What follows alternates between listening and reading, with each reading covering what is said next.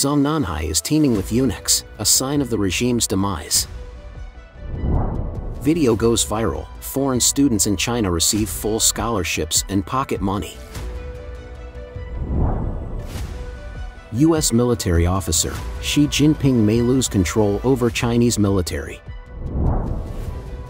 Back to the traditional era of made in USA, the US industry no longer wants to be held hostage by China.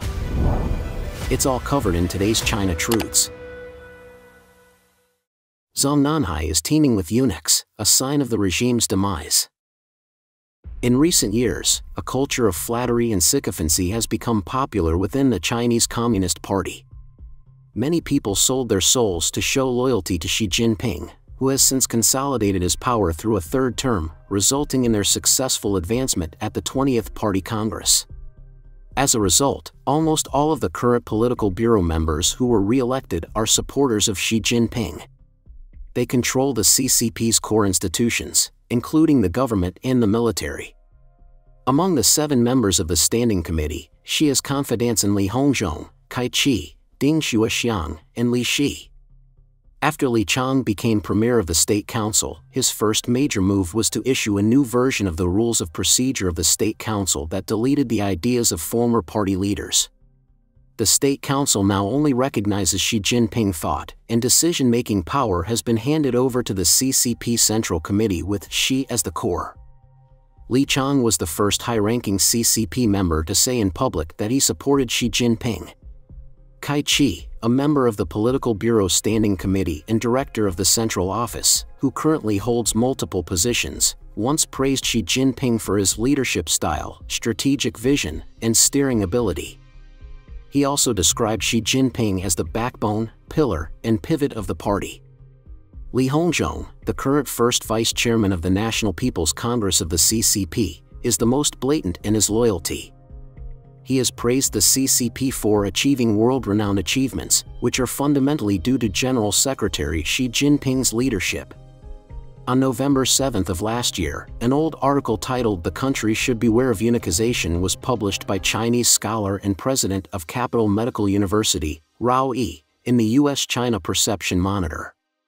The article pointed out that eunuchization is the behavior of irresponsibly flattering superiors, pleasing the powerful, having no sense of right and wrong, and using all means to reap benefits.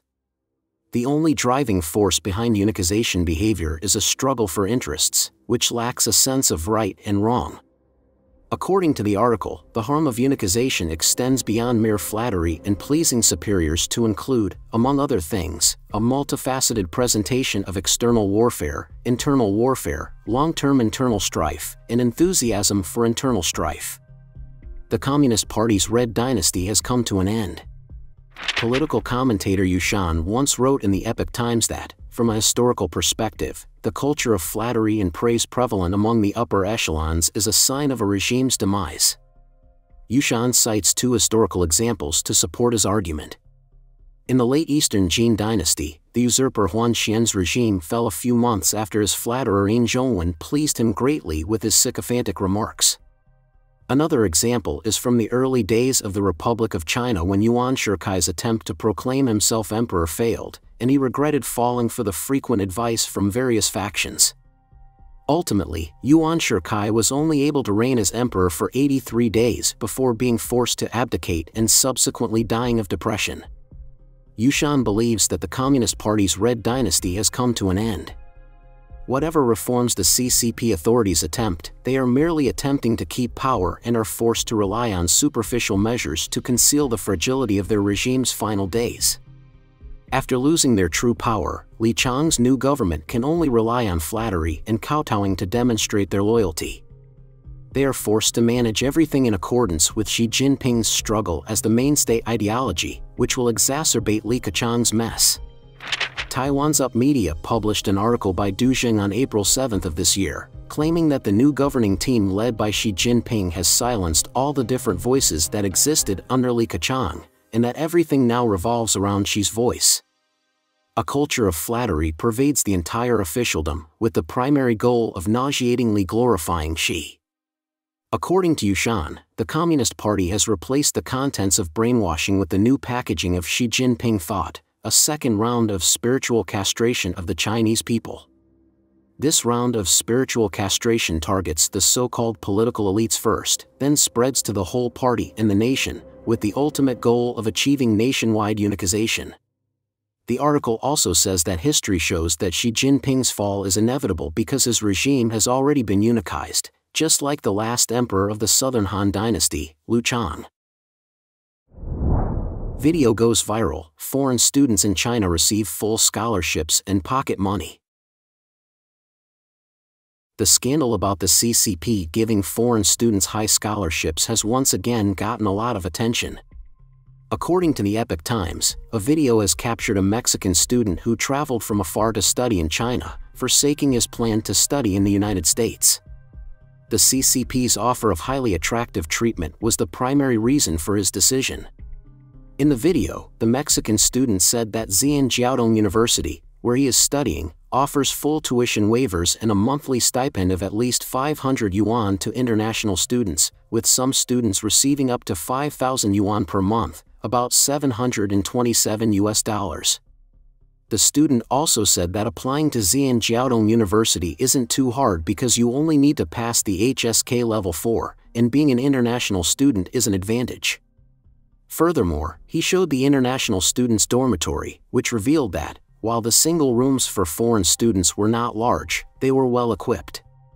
Chinese college students who live in China, on the other hand, usually live with more than one roommate the video has sparked heated discussions and dissatisfaction among netizens.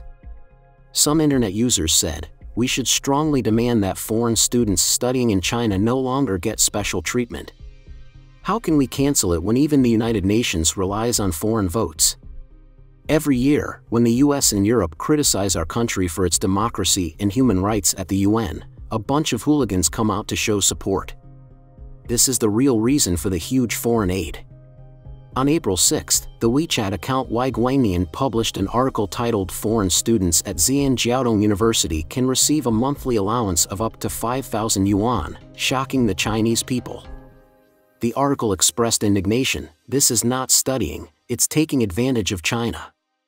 This 5,000 yuan is equivalent to the monthly salary of many workers in some cities. Others work hard for a whole month just to earn more than 5,000 but these students come here to study and can get more than 5,000, which is really outrageous. The article argues they are taking Chinese money, living in Chinese housing, and using Chinese resources. These resources could have been provided to domestic students, but they are being used by foreigners. It's not fair to offer such good conditions to others and be so harsh on their own people. Moreover, Epoch Times reporters also found out on April 8 that the Xi'an municipal government had created a scholarship program for international students called the Belt and Road Scholarship on the International Education College of Xi'an Jiaotong University's website. The scholarship's objective is to provide tuition discounts for foreign students, and even undergraduate students can have their tuition fees waived by 100%, 50%, or 30%. To apply for the scholarship at Xi'an University, foreign students must be nationals of a Belt and Road country.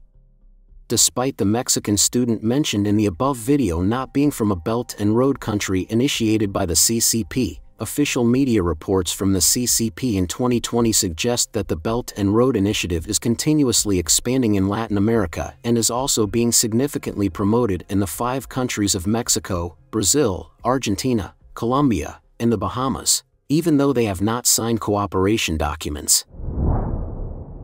U.S. military officer Xi Jinping may lose control over Chinese military.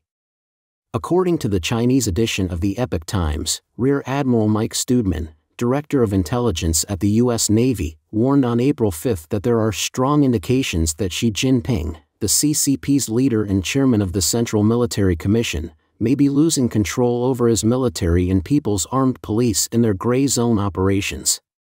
He said in a speech at the Sea-Air-Space Exposition, We believe that this is a result of China's clumsy CCP governance model and the dangers of dictatorship. Rear Admiral Studeman gave some examples of gray zone operations, like how Beijing bothers Vietnamese and Filipino fishermen by ramming other boats or spraying them with water from high powered water cannons.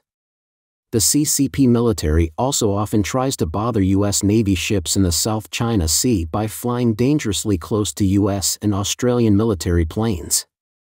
He also mentioned a previous incident where a Chinese pilot flew in front of an Australian P 8 plane and threw out a foil in the shape of metallic debris, which caused the engine of the Australian plane to stop working. These foils are usually used to distract air to air missiles. Fortunately, the Australian pilot was lucky and landed safely.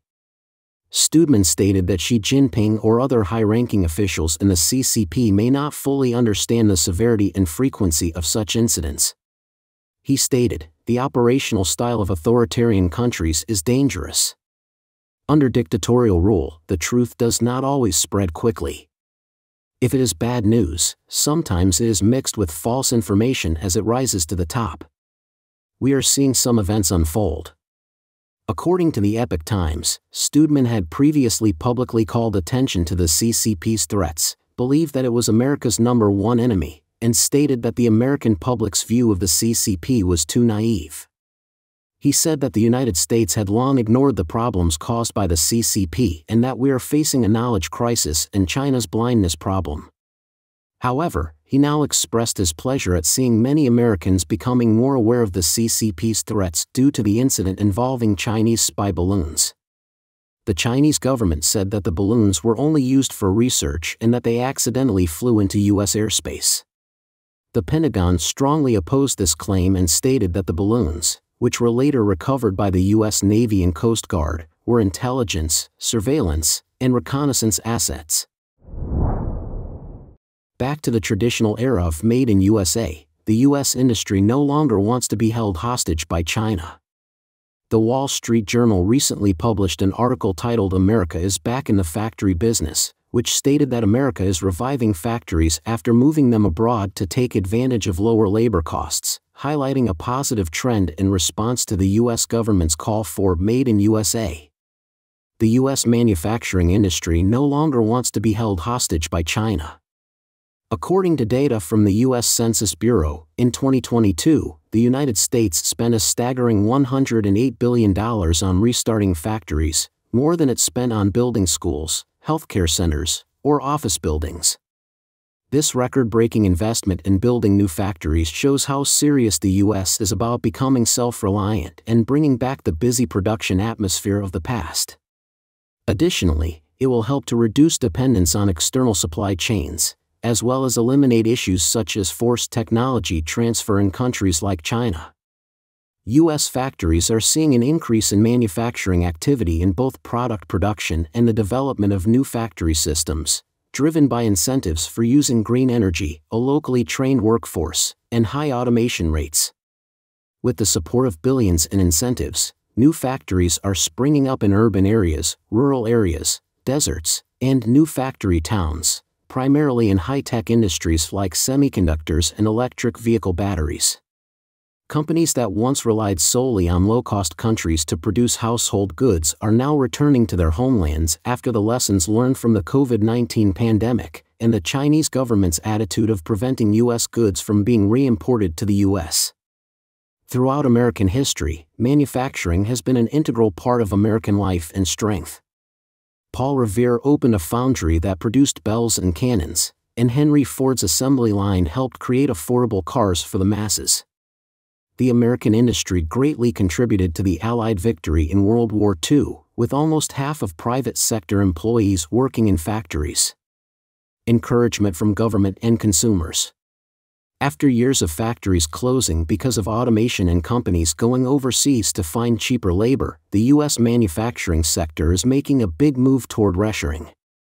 After China joined the World Trade Organization and globalization became a buzzword, the country's manufacturing capacity, which had been growing at a steady rate of around 4% per year for decades, stagnated and then plummeted many American goods are made in China, resulting in the loss of millions of jobs in the United States. However, since last year, manufacturing has been growing at its fastest pace since 2015, as shortages and delays in supplies caused by the pandemic highlighted the risks of relying on Chinese factories. American companies are now rethinking their supply chains, and the benefits of bringing production home to be better able to respond to urgent needs. According to Chris Snyder, an industry analyst, the COVID pandemic has highlighted the risks of relying on imports that are subject to the policies of other countries, and this trend towards reshoring is likely to continue. David Mindell, professor of engineering and manufacturing history at the Massachusetts Institute of Technology, said, The factory boom signals the beginning of a new cycle. Manufacturing has always been an important part of the American story since time immemorial, and what is happening now represents a return to tradition. Please share your thoughts in the comment section below. Don't forget to subscribe to our channel and turn on the notification bell to get the latest video, and thank you for tuning in.